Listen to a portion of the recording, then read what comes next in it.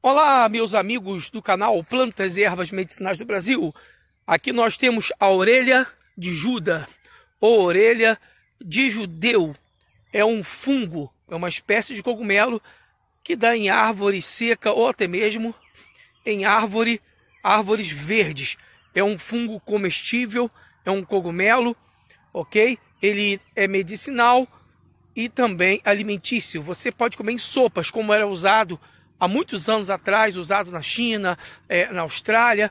Esse fungo, esse cogumelo, ele é bom para pessoas que têm problemas de açúcar no sangue, é antitumoral, tumores, combater câncer, ele limpa, depura o sangue, ele tem um vasto uso aí na medicina popular e além de ser medicinal, benéfico para a saúde, ele é alimentício.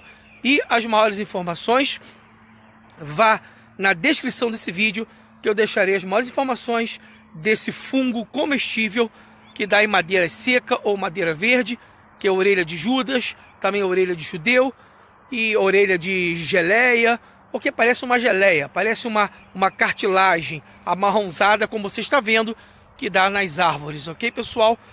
Eu sou Marcelo Pefister, eu sou o criador deste canal, Plantas e Ervas Medicinais do Brasil.